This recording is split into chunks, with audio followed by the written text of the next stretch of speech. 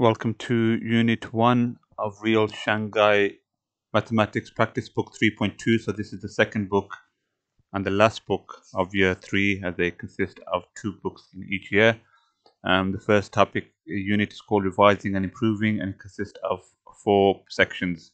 The First section is called Brief Revision Question one, calculation. So these are things that should be familiar with you already. So 140 divided by 7, that's the same as 14 divided by 7, which is 2, and the 0 carries on below. Um, so that's going to be 20. Um, any other one? 3 times 900, we can do, let's do the other one. 700 take away 700 divided by 7. Again, division comes before takeaway, so we do 700 divided by 7 first, which is 100, and 700 take away 100, which equals 600, and so on and so forth. Question two, again, column method 725 divided by 6, for example. Again, you can use a column method to do that, or you can, uh, sorry, bus stop method for to do that, uh, where you, how many 6 is going to 7, 1, so 1 at the top, and then 1 carries over, that's 12, 76 goes into 12, that's 2, and then we've got um, 5 remainder. Uh, at the top again, sorry, for the 5, how many 6 is going to the last 5, you put 0, and then the remainder is 5. Um, Question three, again, should be fairly straightforward. When you have division and times in the same brackets, then you can just do it in the order that you find it in. So for the last one, 837 divided by 9, do that first. And then whatever the answer is, then times that by 8. Moving on to question 4. True or false, put a tick true across false in the brackets. Um, so you just need to work out if those are true. Again, 106 take away 106 divided by 2, then the answer is wrong because we first have to do 162, 106 divided by 2 which is 53 and then 106 take away 53 and so on and so forth. And then b um, look at the steps in this calculation and then you do something similar for the next one as well. Mm, so okay. So 13 plus 7 times 7 plus 30, 39 so another way of doing that is 13 times 7 plus 39 is the same as 13 times 3 uh, if you're not sure, you can write 13 and then 26 and then 39 and you'll see that that is the case in terms of working it out. So you can do 13 plus 13 plus 13, so you can know it's 3.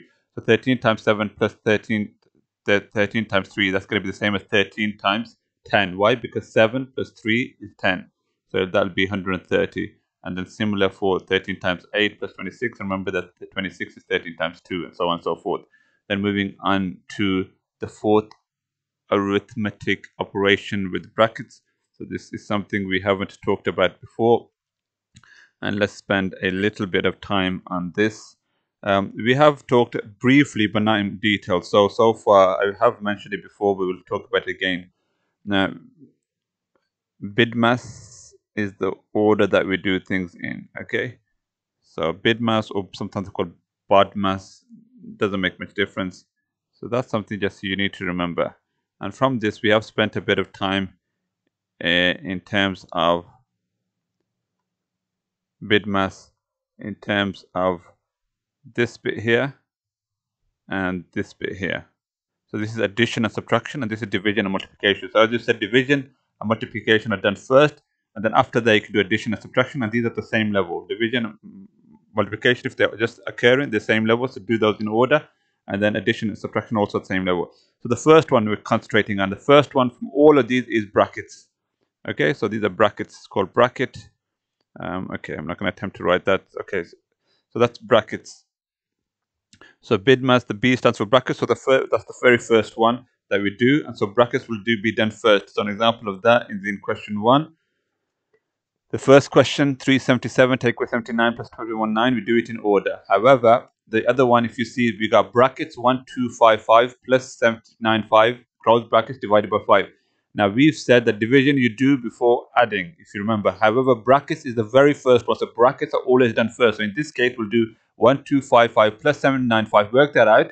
Then that's the answer. Then you divide that by 5.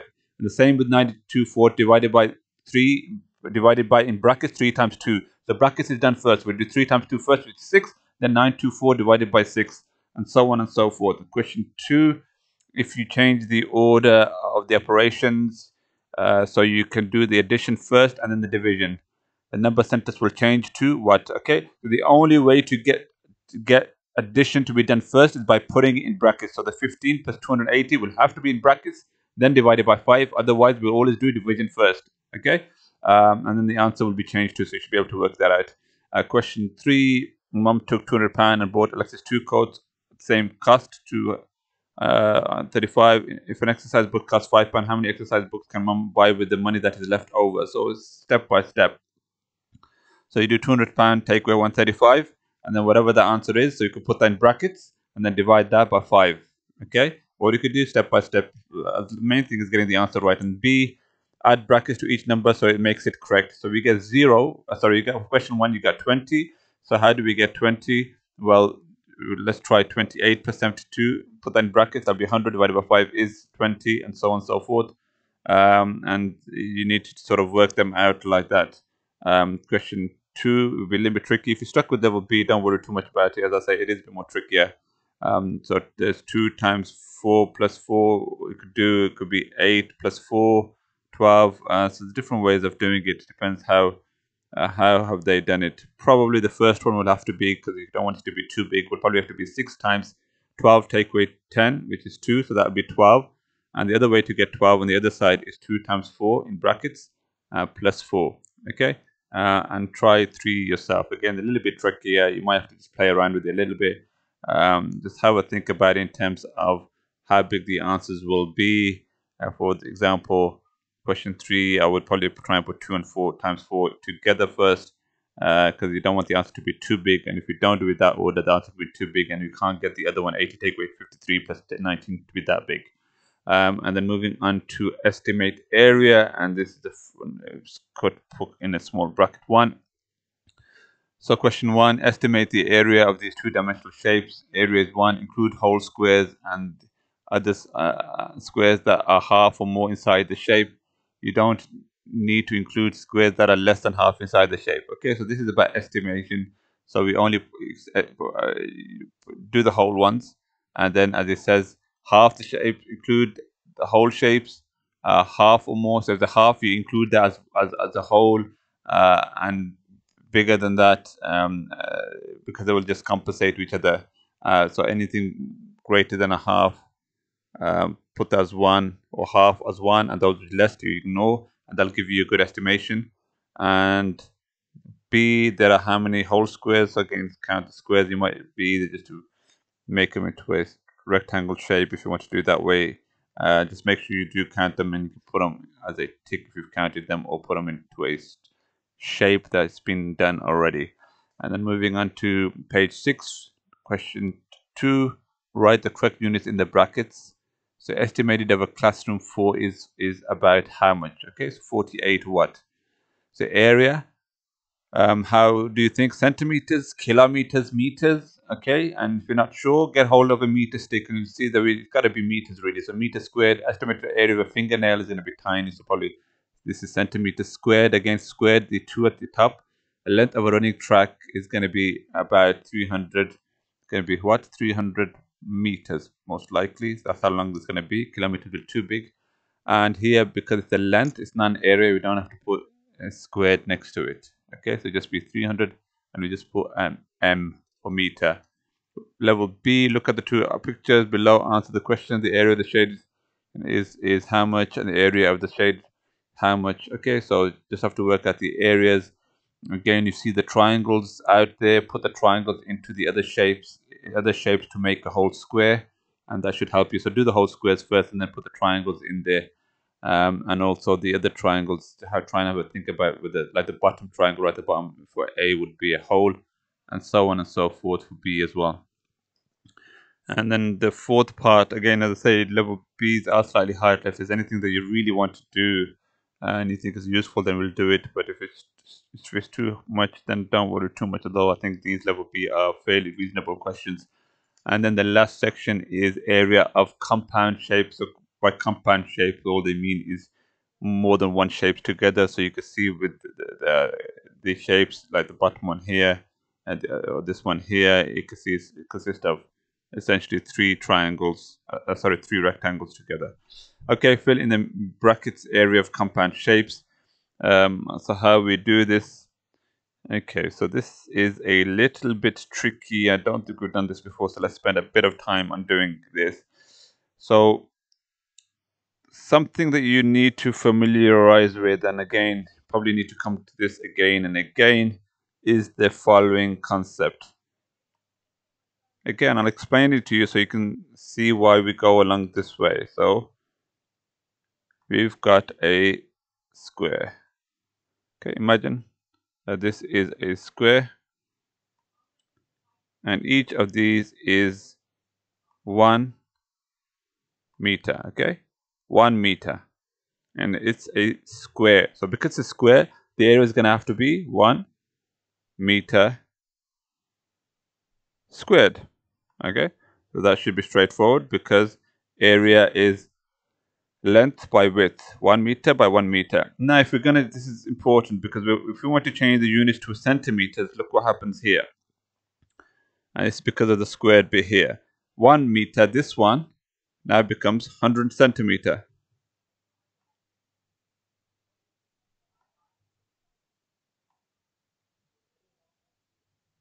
Area now will be 100 times another 100. That's how we do area. So area of this times by the area of this. Now this is also 1 meter, which is 100. So it's going to be times by 100.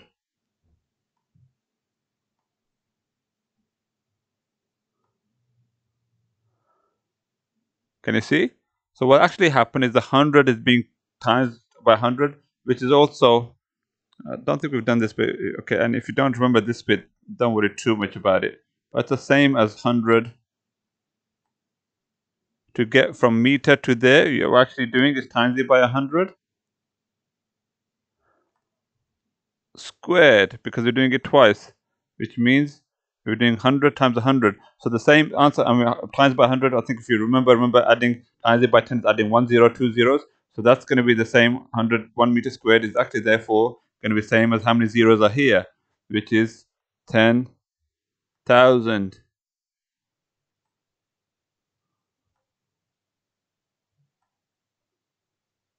Centimeter squared.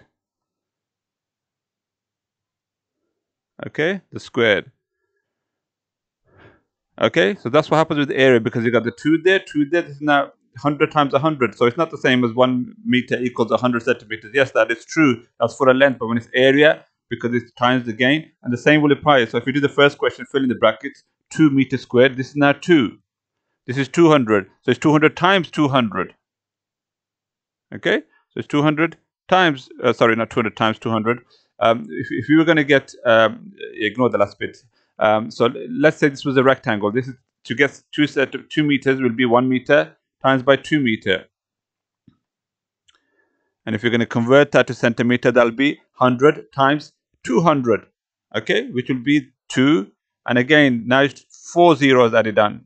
It will be 20, 20 centimeters, uh, 20,000 centimeter cubed. Okay, so converting from a meter to a centimeter cubed is by timesing by 10,000. This meter to meter squared to centimeter cubed is by timesing by 100 and then times it by 100 again. There you go. Okay, uh, and that's what happens there. So we have to come back to this or we may not, but there you can see. So question one, 2 meters squared is the same going to be as 2 times 100 times 100. So that's going to be 20,000 like we've done before and the opposite's also then true. So when we go from um, from from from this to that, which is the other way around, we're going to divide it by 100 and then divide it by 100 again because it's squared. So this is the same as that. So in this case, 600 centimeter squared is going to be Okay, introducing something else again, which I'm not sure if we've covered before or not, uh, but still worth doing it. So we uh, do 600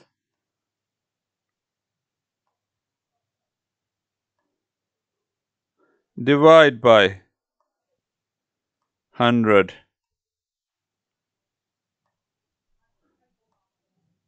and then divided by 100 again so same as dividing by 10,000 okay and if you remember how to do these uh, I'm not sure if I've done this. Okay uh, let's spend a little bit of time. So when when we times by zero we're sort of adding zeros if you remember. Adding zeros. And when we divide it by zeros we're getting rid of zeros Okay, that's what happens. But what if there's no zeros left? So let's say 6 divided by 10. What happens there?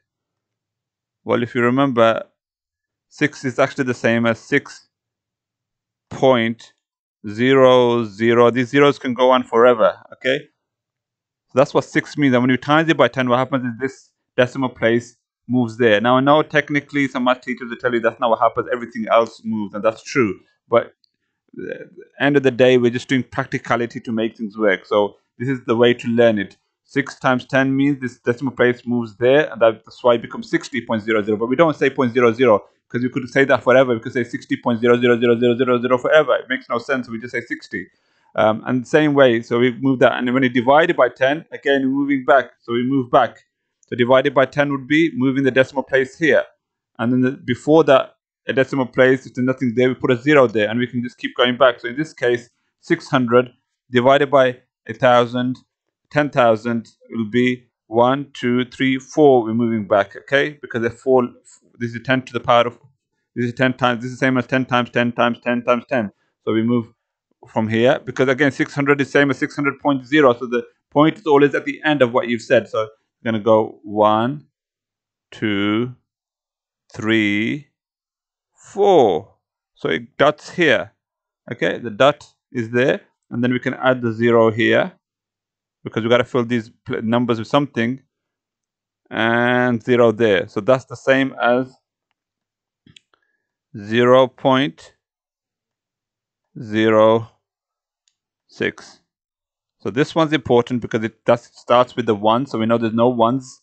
This is important because they tell you based upon that, we know where the ones are, we know where the tenths are. So these are the tenths. Uh, sorry, uh, how do you describe them? Yeah, tenths. And these are the hundredths. Okay, so these are important ones, so you know where we are. And then after that, it's zero zero forever, but we don't need to write these, so we never write these down because we don't need to know what's after that are all zeros forever. So that's why we write 0 0.0 0 0.06 Okay, and I'm sure with lots of practice they'd be straightforward. Um, again, 8 meters should be straightforward. I think the hardest one is 600 centimeter cubed here, uh, squared here. And this one, again, 10,000, we just move, it's divided by 10,000, okay? So that's 1, 2, 3, 4. So that becomes 1 meter squared, which actually did in the other shape anyway. Calculate the area of each shape, that's question 2. Uh, just change these into um, shapes. You can either split them up or do a hole and then take away, like sometimes we do it. Um, it should be fairly straightforward. So for this one, 4 times 9 will give you this shape here, which is that rectangle, and the rectangle below, if you can see um, the this width, because it says 7, and that's 9, and this width here, this bit here is going to have to be 2. So that'd be 2. Okay, shall I do this one as well? Let's do this quickly in case it's confusing. So we've got that shape for this one. We've got a shape, um, straight lines. Let's do straight lines. So we've got the shape. You got it here, and we've got here, and we've got a shape here, here. Okay, I'm not going to label it all because you should have the book in front of you, so I'm not going to shape all. Okay, so this is the shape, and we're making it into two rectangles. So this is the first one, which is four times um, four times nine, which will be straightforward. Okay, and then this shape here, what's that going to be? Because from here to here he's saying 7 and this is to 9, and this has to be 2. This has to be 2 wide. Again, look at the picture to confirm that's correct. And same here, because it says 7 and that says 4, and this one has to be 3. So this is 2 times 3. So 2 times 3, this is 6 meters squared. And this is 9 times 4 is 36 meters squared. And then add them together, two shapes. Okay? And then you got the shape on the other side. Again, try that yourself. It should be uh, a similar thing to what I've said should work. And if those don't work because it's not clear, you could always do the bigger shape like 6 times 10, which is 60, and then work out the shape, smaller shape, what the area of that would be. So the smaller shape, the height is 4, uh, the, the one we're going to remove is going to be 4, and the length of that is going to be 6 because we've got to remove the 2 and 2. So then you do 6 times 10 is 60, and then take away, uh, what did I say, 4 times um, 6, 24. So 60 take away 24, and that should be your answer. And then question 3 I think we've done something similar to this before. Question three. Work out a square has a side of 10 centimeters. The square divided into 5. The area of each rectangle. Okay, so if you divide into 5, then you should know the length. Um, yeah, 5. So each each width is going to be 2, right? And the, uh, because it's square, the height, the width, the length of it is still going to be 10. Uh, so it should be straightforward. And then level B, let's look at these. Um, we may or may not do this depending on what's going on. Um, as I say, sometimes they will be more difficult.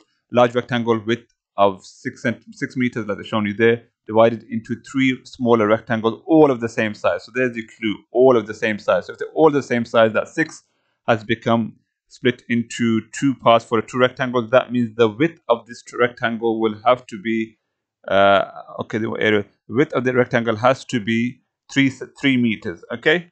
Um, again, double check that if you agree with that. Therefore, the the the length of the big rectangle is going to be um, okay. So that's that much, and the length. Okay, yeah, and those two of those make up the length of it. So that means that the whole thing there is going to have to be uh, 9 meters, okay? So see if you agree with that. I think that's going to be 9, so that's going to be 9 times 6. Uh, two identical rectangles have a length of 7 centimeters, a width of 3 centimeters. One is laid over the other to make a paper shown. What is the area of this new shape?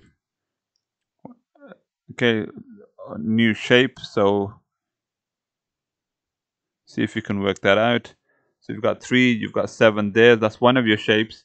Then the other shape you need to work out. So you need to know how much has been overlapped. So clearly three centimeters has been overlapped. So the length of the other one is going to be what four four centimeters, and then the width uh, along there is going to have to be three. So it's going to be three times four, which is twelve. So I'll do seven times three, 21, and then plus the twelve. That's what I think anyway. Any question three, I'll leave you those for you to do those yourselves. And if you get stuck, then let me know. But I say, level Bs are a little bit more trickier.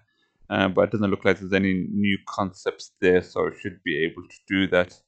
Um, but if it's too hard, as I say, level B is a step ahead, so don't worry too much if that's the case. Uh, please do share and like and subscribe and place your comments below, which would be a great help in spreading the word as well, please. Thank you.